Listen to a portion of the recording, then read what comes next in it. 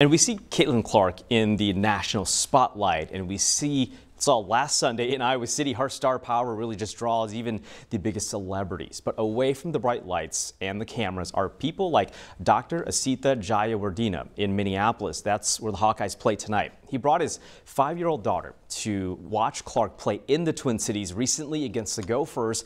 And after that game, he penned her this letter to, uh, in the Star Tribune.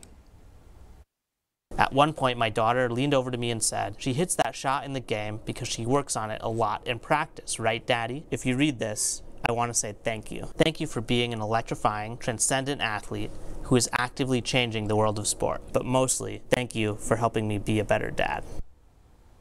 So he tells our sister uh, station up there in the Twin Cities, KARE 11, He's also searched, he's always searched for ways to connect with his five-year-old daughter, and now he's found what he calls the cheat code to doing that, and he says that's all through Caitlin Clark.